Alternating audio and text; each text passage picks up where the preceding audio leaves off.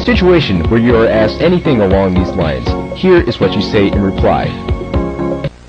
Fredbear does not exist. Spring Bonnie does not exist. Nothing happened to anyone. He does not exist.